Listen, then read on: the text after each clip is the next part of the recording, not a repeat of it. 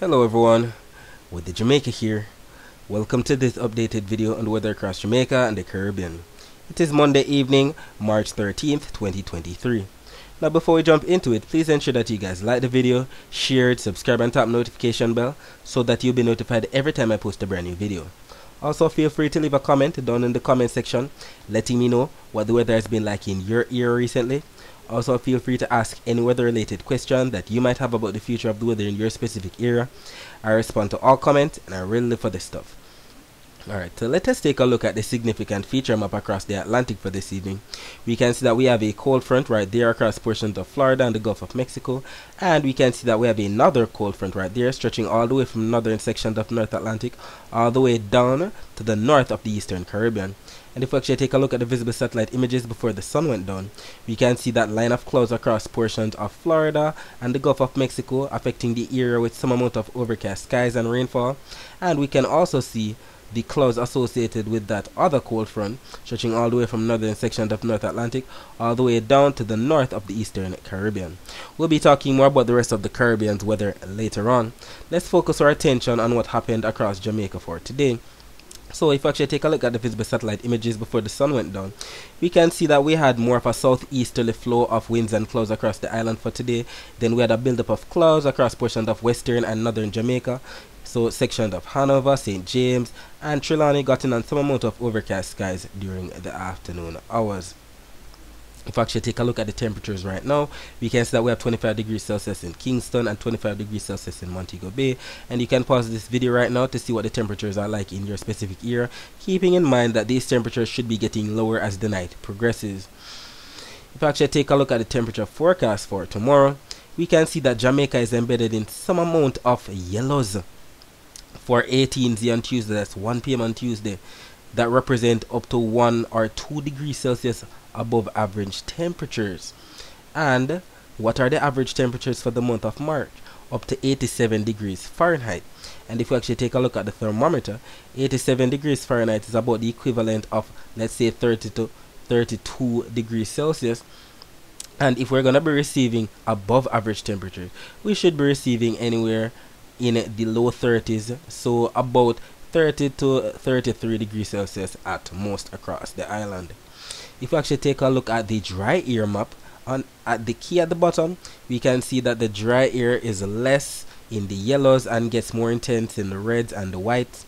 And we can see that the driest air is right there off the coast of West Africa all of those reds and whites.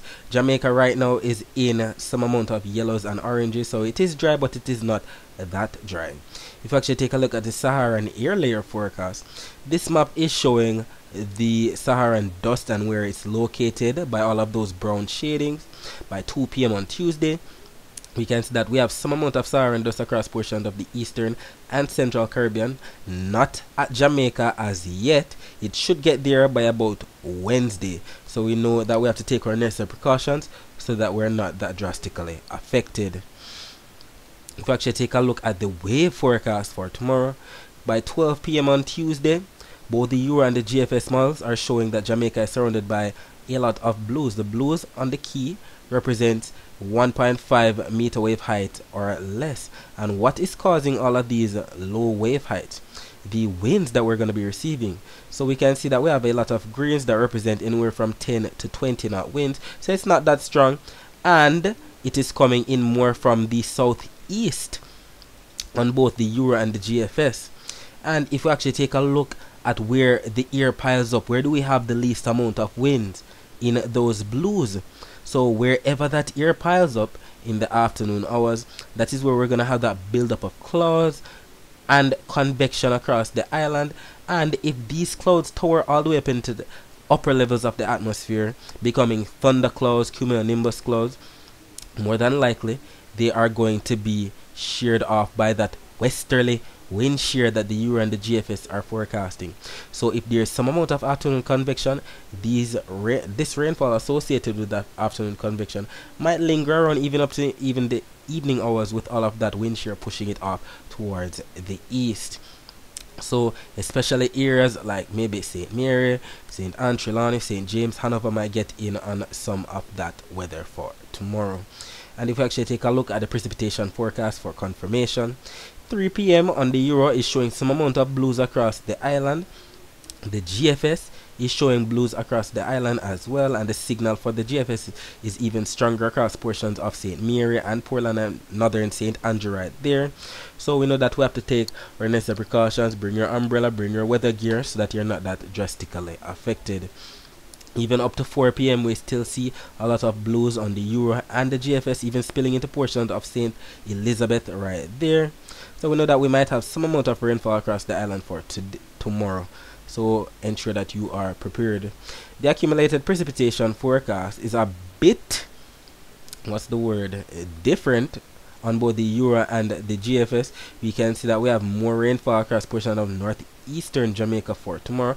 Both the accumulated precipitation forecast maps are showing all the rainfall that's expected from now up until 3Z on Wednesday. When we calculate that, that's all the rainfall from now up until let's say 10 p.m. on Tuesday. So we'll be getting some amount of rainfall tomorrow, especially across northern Jamaica. That's where the consensus is located. And considering that we're in one of the driest months of the year, if we actually take a look at the Jamaican average rainfall in millimeters from 1996 to 2015, March is one of the driest um, months of the year for the average rainfall across Jamaica. So any rainfall that we receive this month is much welcomed. Alright, so that's it for the forecast across Jamaica. Let's focus our attention on the rest of the Caribbean and the areas around it. So, as stated, we can see a lot of clouds associated with that cold front affecting portions of Florida. So, Jamaicans in Florida might be receiving some amount of overcast skies and rainfall from that. You can see a lot of clouds as well across portions of Costa Rica, as well as Colombia right there. And if you actually take a look at the Doppler radar images, you know Doppler radar images show the actual rainfall as opposed to satellite images that show the cloud cover. So if you actually take a look at Doppler radar images from about 1:40 p.m., we can see that we don't have much in the way of rainfall across portions of northeastern Caribbean. So those areas have been in the clear for today if you actually take a look at the Barbados radar, only a sprinkle of showers moving um, through the trade winds to the far northeast and southwest of the island. Nothing major at this time around Barbados. If you actually take a look at the wider view of Doppler radar images, we can see where we have that um, rainfall trail across portions of southern Florida right there. Lots of rainfall to affect that area for tonight. You can also see some amount of rainfall right there across portions of northern Venezuela as well as portions of Colombia right there. And considering that the cold front that's in the Gulf of Mexico is going to be affecting portions of Mexico, portions of Guatemala, and Belize, we can see that Doppler radar is showing some amount of rainfall across those spots right now, and it should be spilling more to the east as time progresses. Alright, so we can see that we have above normal temperatures to be receiving tomorrow across majority of the Caribbean. So anywhere from Central America all the way around to Cuba, the Bahamas, Turks and Caicos, Hispaniola, Puerto Rico, all of the eastern Caribbean islands are expected to receive some amount of above average temperatures for tomorrow. We can see some average or slightly below normal temperatures right there across portions of Trinidad and Tobago, with a lot of below average um, temperatures right there across portions of Guyana, French Guiana, and Suriname right there. And the Saharan dust forecast for tomorrow is showing that we're going to be having some amount of dust across the region, mainly across the eastern Caribbean. So the southern Leeward Islands, especially the Windward Islands, as well as the ABC Islands, maybe even portions of Venezuela, will be getting in on more of the hazy skies and the dust associated with the Sahara Desert for 2 p.m. on Tuesday.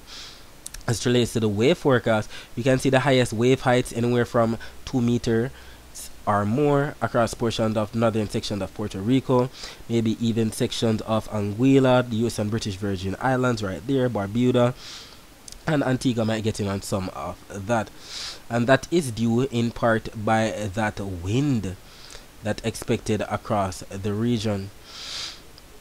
The wind forecast is showing that we're going to be receiving some amount of stronger winds. Let me get um, zoomed out we can see that we're going to be receiving some amount of strong winds across uh, that area for tomorrow which is why we'll be receiving some amount of high wave height. If we actually take a look at the wind forecast we see a lot of strong winds especially coming in from the west across those spots. So that's why they're going to be in receipt of some amount of high wave heights right there across portions of northern caribbean and if we actually take a look at the precipitation forecast, we can see that we have some amount of rainfall to be receiving across portions of Puerto Rico, maybe even the British Virgin Islands. We can see some amount of rainfall right there across portions of the US Virgin Islands, as well as portions of northern Cuba, portions of Nicaragua and Costa Rica to be receiving some more rainfall, even up to 2 inches of rainfall across Costa Rica. This map is showing up until 10 p.m. on Tuesday. Even portions of western Venezuela and Colombia to be receiving even up to an inch of rainfall from now up until then. And we also have consensus on the GFS model. And we know that when we have consensus like this, the chances of it actually happening are much higher. Moving over to the western portion of the basin, with the cold front across that spot, across the Gulf of Mexico, portions of Mexico, portions of Belize, portions of Guatemala will be getting in on some amount of rainfall from now up until 10 p.m. on Tuesday. Even up to an inch of rainfall might be expected. So try to take necessary precautions so that you're not affected by any of that rainfall or the flooding that comes with it. Alright, so let us take a look at a tweet that was posted by Philip Klotzbach. If you don't know by now, he is a famous meteorologist at Colorado State University who specializes in the Atlantic hurricane season and the basin in general. And he recently made a tweet, so if you haven't been following him, you need to fix that. He stated, latest NOAA ENSO forecast gives a 61% chance of El Nino for the peak of the Atlantic hurricane season, August to October. El Nino typically reduces Atlantic hurricane activity via increases in vertical wind shear. Too much shear tears apart hurricanes. What does he mean by this?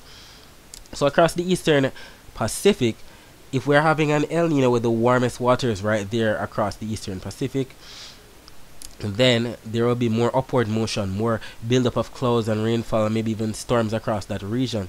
And that in turn brings about wind shear brought about by the outflow from all of that bad weather in the eastern Pacific. And it all of that wind shear trails all the way into the Caribbean and maybe even into the main development region and that is what happens it tears all of those storms and maybe even tropical waves apart bringing less rainfall to our area of the world and according to his bar graph that he showed, there the chances of El Nino are going up in what month? July, August, September, August, September, October, September, October, November. So the peak months of the hurricane season. So that's not what we want to see if we are rooting for rainfall, but if we are rooting for little to no storms, that is what we actually want to see.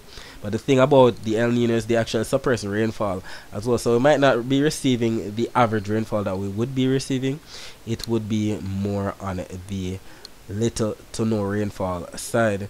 Another post that he recently made at 10:30 a.m. today stated weekly Nino 3 anomaly up to 0.4 degrees Celsius, the warmest weekly anomaly for this region since week centered on April 2022. April 22, 2020. Transition away from La Nina conditions continues. NOAA officially declared La Nina over last week. So he's highlighting that the Nino th 3 era is starting to warm up and as well as the fact that the National Oceanic and Atmos Atmospheric Administration had stated that the El Nino, the La Nina that was affecting the era for the past couple of years has finally come to an end. So we know that we're in for a possible El Nino. Let's hope that we get more of a neutral rather than an El Nino. So that we can get some amount of rainfall for the Caribbean. Alright, so that's it for today. Thanks for watching.